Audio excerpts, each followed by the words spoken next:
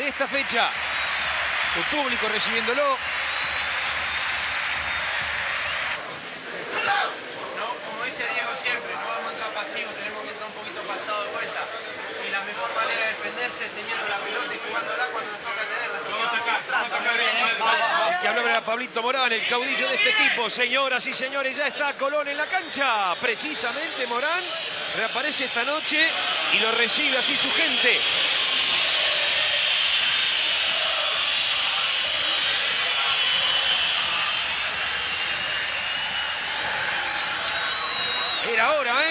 Que aparezca, que aparezca Colón. Ya está River desde hace largos minutos.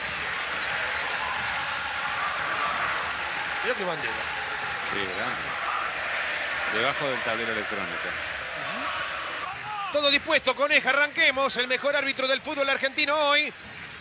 Que va a pitar. Pongo ya el cronómetro que me regalaste, Fabri. Ok, a ver. Tiró el algodoncito. Cariñano tocaba para hacer Matén, el pelotazo de Morán. Señoras y señores, empezamos a compartir junto a todos ustedes River y Colón, Unali. Por acá estaba marcando el chino Garcés, el pelotazo de Garcés. La viene recibiendo ya Delgado, la cambió toda Delgado para Graf. Pegaba el grito y dominaba con eso.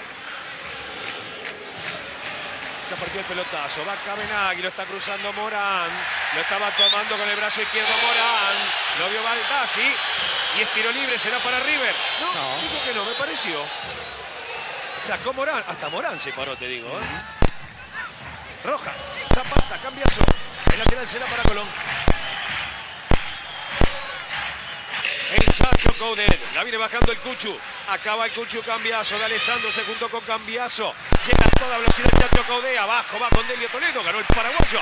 Por eso el lateral será para River. Marca Baldassi. Salió con todo River, ¿eh? Salió a buscar decididamente la diferencia en los primeros minutos del partido. Orteguita pasó en T3. Tocando. ¡Oh, de Alessandro! Bueno, no pasó nada, Leo. ¿Qué le pasa? Se Claro. si saltó la pelota, Leo. La va a buscar Cabenagui. ¿Qué quiere que haga? Que le aplauda. No se entiende lo de, lo de Leo Díaz, ¿eh? Una reacción absolutamente injustificada. Piccoli. Quizá lo haya golpeado Cabenagui a Leo Díaz. Si lo golpeó es involuntariamente, va a buscar Claro, la pelota. por supuesto. No, no, yo por él.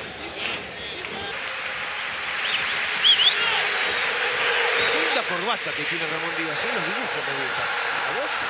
Sí, es lindo, es sobrio. El chino Garcés.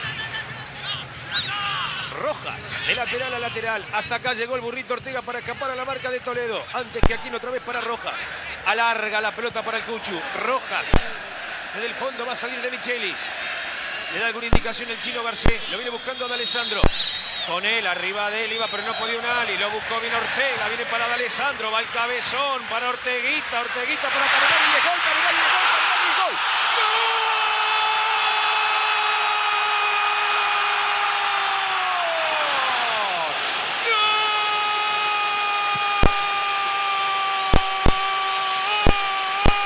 ¡Gol de River! ¿Alguna vez se tenía que cortar, Nene? ¿Cuánto hace que no mojaba? Gana River. 12 minutos del primer tiempo, 1 a 0. Otra vez, sí, otra vez. La hora del goleador, Fernando Cabenagui. Decíamos que River era una tromba, marca mal Colón. Ortega le pone la pelota entre las piernas de Toledo a Cabenagui. Cabenagui recibe de frente al arco para su perfil derecho. Gran asistencia de Ortega. Fíjate cómo le pega a Cabenagui. Tres dedos. Y la pone allá, junto al palo, al que no puede llegar Leo Díaz. Le cruza el remate. Un gol de una gran calidad en la habilitación de Ortega y en la definición del pibe Cabenagui, que suma nueve en este torneo. Hubo seis dedos. Sí, en realidad. Tres de Ortega y tres Tres de de Ortega y tres de Cabenagui, sí señor. 25 minutos se van a cumplir. Castaño Suárez que se la deja a Toledo. Se adelanta Colón ahora. Espera con mucha gente a River. Solamente arriba está el burrito Ortega. Le hizo correr Graf. Llegaba por allá Sermaten. Delgado. Otra vez Toledo. Tiene la pelota Colón, pero le cuesta progresar. Llegar al área de River. Castaño Suárez de primera para Piccoli. Va a buscar la devolución. Lo está esperando Cambiazo. Por eso ya viene jugando para que reciba Sermaten. Viene para Delgado. Zurda y al arco. Zurda y al arco. Delgado.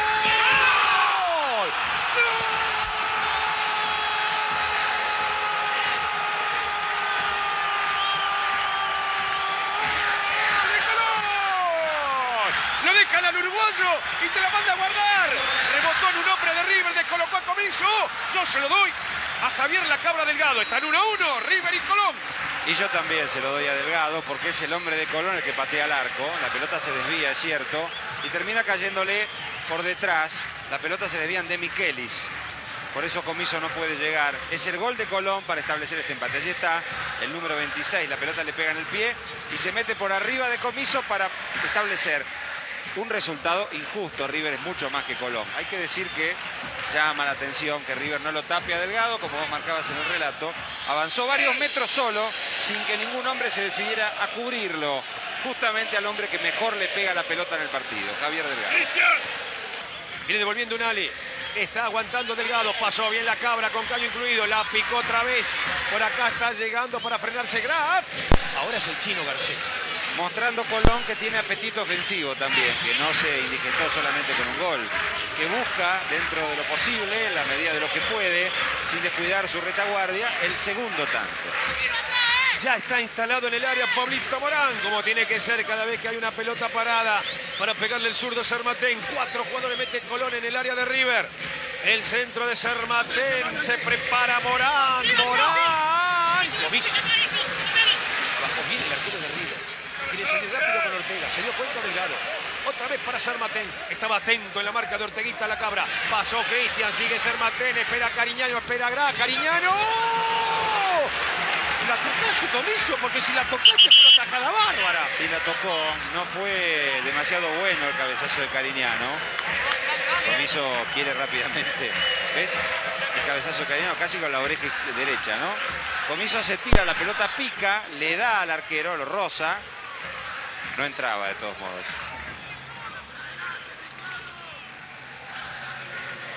Ya salió desde el fondo Rojas. Ya la tiene de Alessandro.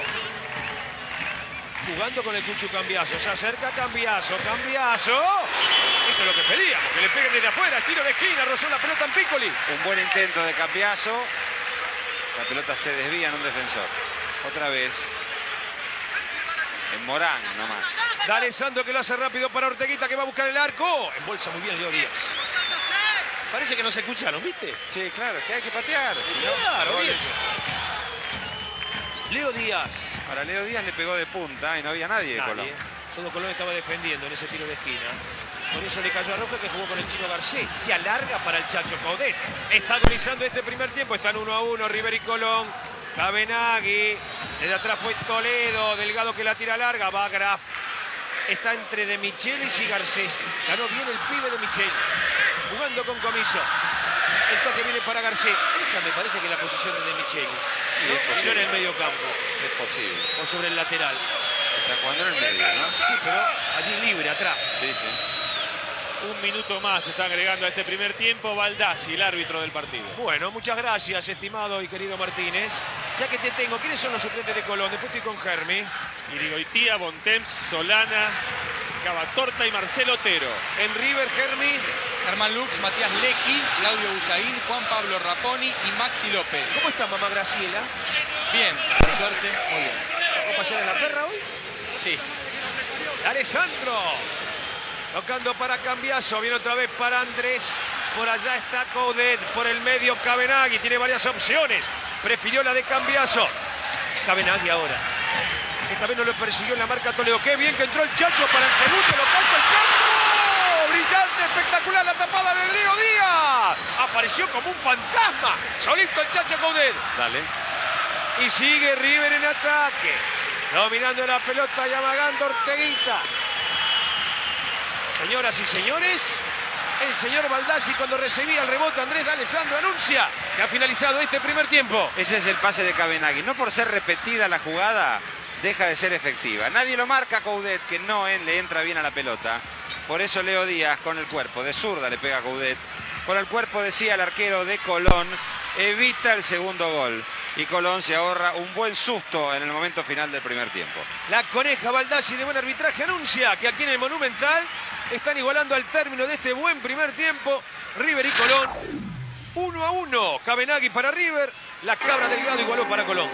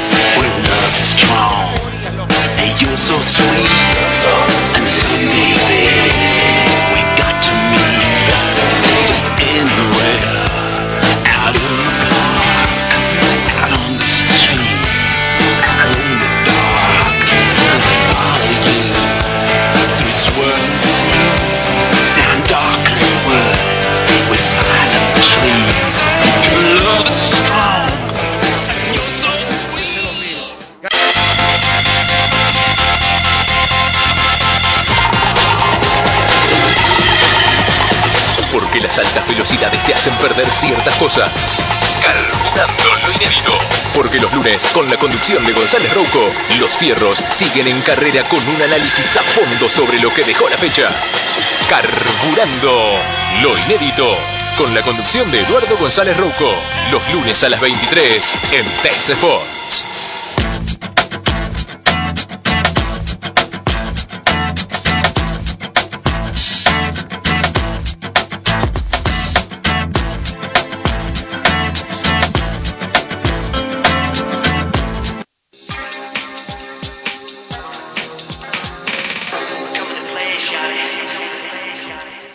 El partido está uno a uno. Estamos hablando de River Colón en el clausura 2002 y hablábamos antes del muy buen equipo que tenía River de mitad de cancha hacia adelante, pero también es justo decirlo, para que un equipo pueda jugar de esta forma y marcar con solo tres defensores atrás, estos tres tienen que ser verdaderamente importantes. El chino Garcés vivía un muy buen momento. Martín de Michelis se ganaba un lugar pese a que el titular habitualmente era Celso Ayala.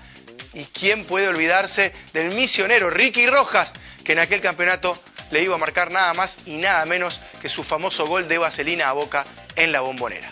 Insisto, el partido está uno a uno, pero River va a apretar el acelerador, va a haber muchos goles y una definición en favor de un campeón que obviamente dejaría el sello de Ramón Ángel Díaz.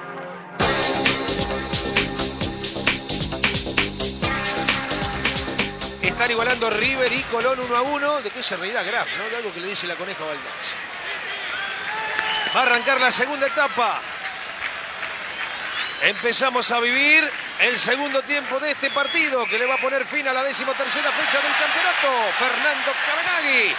Se la tocaba de Alessandro. Ya están jugando River y Colón. El chino Garcés la cambia para Rojas. Cambios en River no veo. En Colón tampoco. Martínez. Zapata que jugaba, no podía de Alessandro, otra vez Martín. Perdón, Víctor. Martínez el Unión.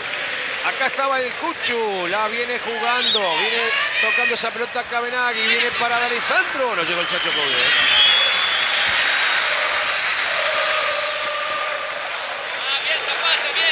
El que se viene a toda velocidad es Garcés. Robó bien Sermatén, juega con Cariñano que está con De Michelis y Rojas. Pasó Sermatén. Pero le tiró un ladrillo, cariñano, ¿no? Mucho más rápido Rojas. Ahora Comiso, que toma envión para pegarle a la pelota. Ya la bajó Zapata. Y a propósito de arqueros, hoy en reserva volvió después de seis meses, se había lesionado el 2 de octubre, Costanzo. El Chacho Coudet. Dominando el Chacho. Viene para Orteguita, escapando la marca de Toledo. Se frena Ortega. Buen quiebre. Otra vez para el Chacho. Lo toca Cabenagui. Gol de Cabenagui de zurda. Cabenagui.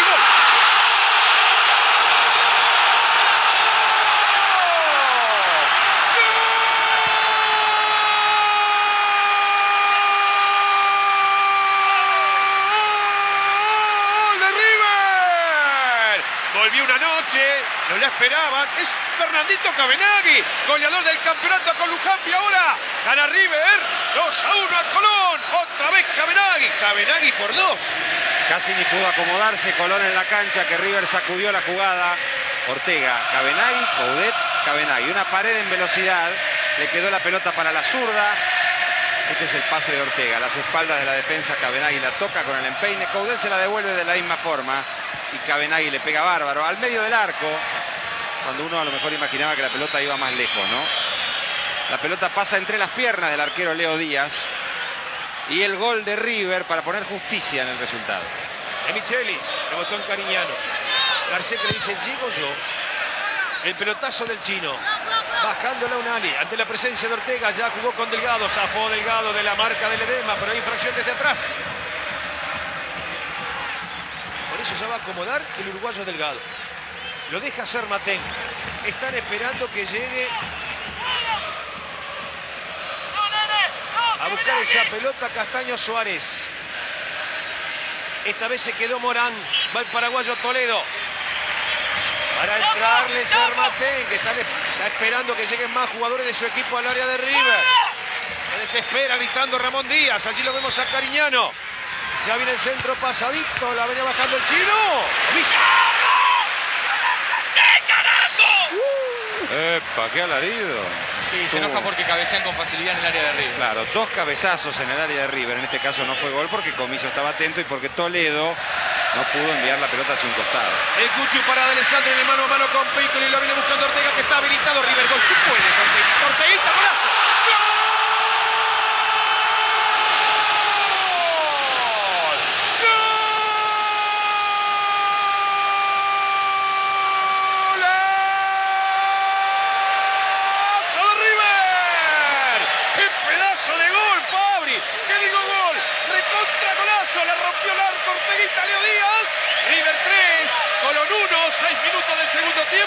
¿Me apresuro si digo partido liquidado? Yo creería que no, porque Colón está dando demasiadas ventajas en el fondo. Vamos a ver si Ortega estaba habilitado. D'Alessandro le pone un pase preciso y precioso con zurda. Ortega domina, Leo Díaz no le sale y le pone la pelota a Ortega arriba en el ángulo. Lenta reacción del arquero en este caso. Allí está el gol, muy bien definido por, por el jugador de River. Vamos a ver la posición de Ortega cuando parte el pase. Parecen estar en la misma línea, Morant y Ortega. Esa es la sensación que da. De todos modos, es una jugada para la polémica. Después Ortega, bárbaro. Ubica la pelota entre el poste más cercano y el travesaño. Y el gol. Se dio todo. Cabenagui hizo dos, Ortega hizo uno. Entre los dos habían marcado 15 goles en las primeras cuatro fechas. Aparte estaba mirando la posición de Morán Ortega, ¿viste? Que estaba mirando, mirando. Recibe la pelota Cariñano, otra vez Delgado al arco. ¡Oh! Comiso. ¿Pero qué tiene? ¿Un cañón en la zurda el uruguayo? Algo así. Recibió otra vez la pelota fuera del área y aprovechó y hace lo que mejor hace y lo que más le gusta. Demasiado recto el tiro, eso sí. Muy bien comiso. La baja Castaño Suárez, la juega Castaño Suárez. Rebotaba la pelota en Zapata. Le va a caer la desma. Lo deja, sin embargo, a De Micheli. Trabó De Micheli. Le pone el brazo. Le metió falta. De cualquier manera le gana la posición. De Micheli que va abajo. Quitó De Micheli pero con infracción. Se la tiró libre para Colón. Y además lo van a molestar el jugador de River, al número 26. Y se calentó porque le puso el brazo en la cara, me parece. ¿Sí? Acá si te calentás, perdés. Y va Colón al área. Se genera una acción con pelota detenida. La acomodó Delgado, Gabatorte espera el rebote, están esperando que lleguen Toledo y Morán. Tiene la gran chance Colón y por arriba, veremos si la sabe aprovechar. El centro de Delgado, cabezazo de Castaño sobre gol. ¡Gol!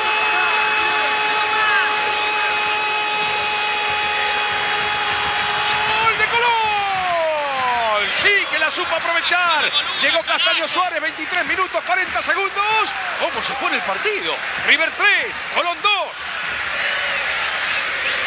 Vamos a compartir la acción. Mirá de dónde vino esto, ¿no? De una infracción de, de Michelis, una tarjeta amarilla. El centro de Delgado. Allí va Castaño Suárez que alcanza a peinar la pelota, Comiso no responde y el partido está 2-3 y el susto que se apodera de algunos hinchas de River, otros están confiados. La pelota entra por el medio del arco. Hacía rato que a River no le marcaban dos goles, ¿no? El que la perdió fue Castaño Suárez. Alessandro recuperando para arriba y largándola Viene para Orteguita, se va a frenar Orteguita, lo juntó para Marujo Otero, junto a Castaño Suárez, jugó para Ledema, de Ledema viene para D'Alessandro, tendrá que tocar para que no se la roben, por eso ya jugó con Ortega, amaga frente a Piccoli, lo dejó desayunado a Piccoli, otro enganche más, y sigue Orteguita buscando con este cambio a Pusaín, Pusaín se acomoda, enganchó para la suya, Pusaín, mamá, una jugada, ¿no? No es frecuente ver a Claudio Usain en este tipo de acciones. Un muy buen pase del su compañero de Ortega.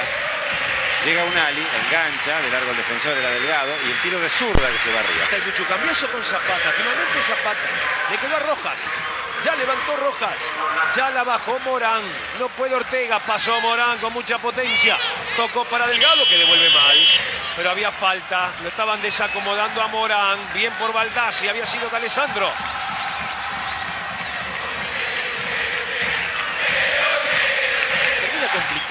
No sufriendo, pero complicado. Es cierto, sin demasiadas situaciones en contra, pero aguantando el esfuerzo que hace Colón. Morán que la cambia, un Ali que la juega. Hasta aquí llegó Gabatorta, la pisó Gabatorta ante la presencia del Cucho Cambiaso y también de Hussein, el chino Garcés. Regaló la pelota todo. a Gabatorta.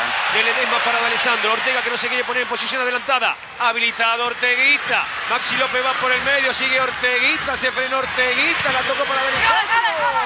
Llegó la zurda de Toledo y evitó el tiro de esquina.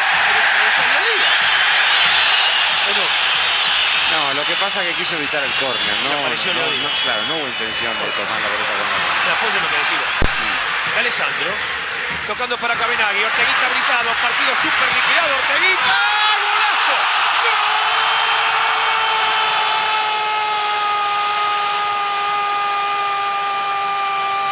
¡Gol de River! Sí, Orteguita, levanta los brazos que todos te quieren abrazar. Hasta yo tengo ganas. Definición impecable. Y como dije anteriormente, partido súper liquidado. River 4, Colón 2. No quería ser menos que Cabenagui, Orteguita. Claro, dos goles cada uno. Eh. Iba uno, iba el otro. Ortega apareció totalmente solo. Ahí está.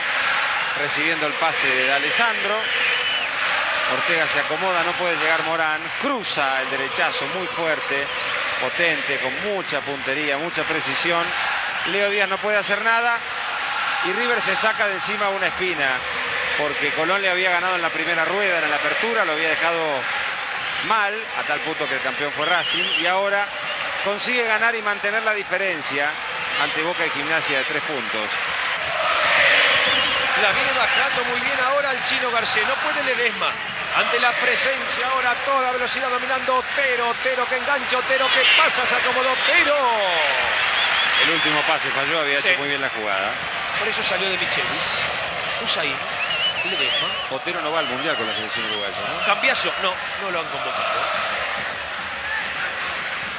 A verlo por ahí va, ¿eh? ¿Por qué no? Allí estaba dominando la pelota Solana, Arque Rojas. Señoras y señores, ganó River nomás y es único puntero.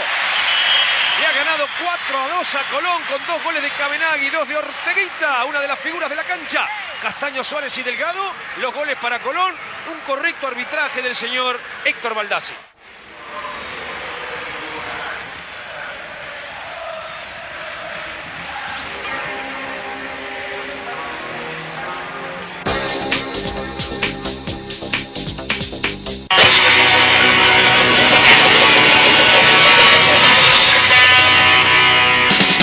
Si el fútbol corre por tus venas, entonces llevas el fútbol guaraní en la sangre.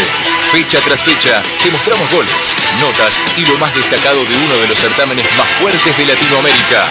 Fútbol guaraní. Los lunes a la medianoche en Tex Sports. Si te digo que existe un programa de fútbol que supera todos los límites, cree. Fútbol por dos. Hacemos foco en todas las ligas latinoamericanas y de lunes a jueves te mostramos todos los goles, notas e informes desde cada rincón. Fútbol por dos, con la conducción de Jorge Marinelli y José Montesano. De lunes a jueves a las 23.30 en Teis Sports.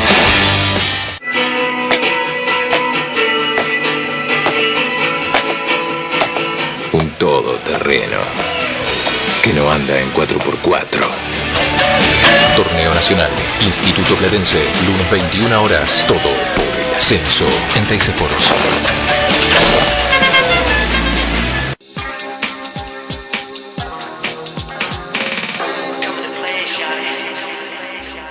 a no perderse la joya del archivo que hemos rescatado para todos ustedes. Nos vamos a meter en el histórico torneo metropolitano de 1981, el único torneo que Diego Armando Maradona ganara con la camiseta de Boca. Y obviamente también el primero que jugara. Lo cierto es que Boca tenía como rival más cercano a un inusual ferro dirigido por Carlos Timoteo Grigol, que se había hecho cargo del equipo en 1980, que se había desprendido de algunos de los nombres más importantes e históricos de aquel equipo, como el de la chancha Arregui, seguía en, cancha su hermano Carlos, el volante por derecha, empezaba a aparecer tenuemente Alberto José Márcico, a pesar de que no era titular en aquel espectacular equipo que tuviera el equipo de Caballito, concretamente en 1981.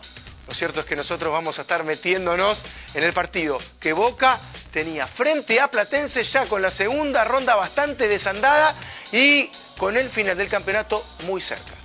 Diego Armando Maradona va a jugar un partido inolvidable, va a marcar dos goles, es uno de los temas a tener en cuenta. Otro es que el acompañante habitual de Perotti, uno de los delanteros en Boca, era Osvaldo Salvador Escudero, el Pichi. Sin embargo, en este partido, a Brindisi y Maradona, más Perotti, se le iba a sumar un símbolo de River, Carlos Manuel Morete, que con la camiseta de Boca hizo poquitos goles y tuvo un paso verdaderamente intrascendente en su rica trayectoria.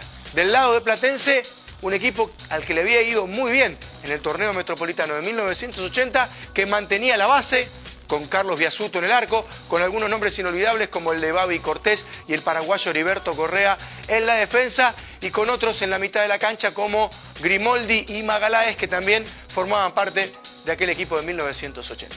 A no perderse esta historia, la imagen tal vez no es la mejor, pero el recuerdo bien lo vale.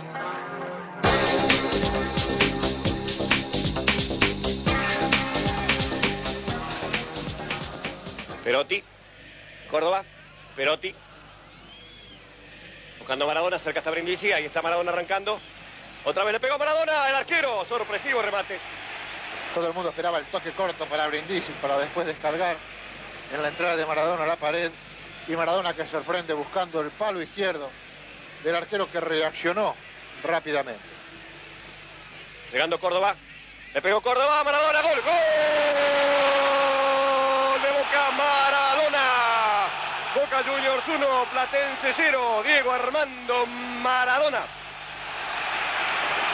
Hay protesta de los hombres de Platense. Apareció solo Maradona allí. Muy solo Maradona delante del arquero.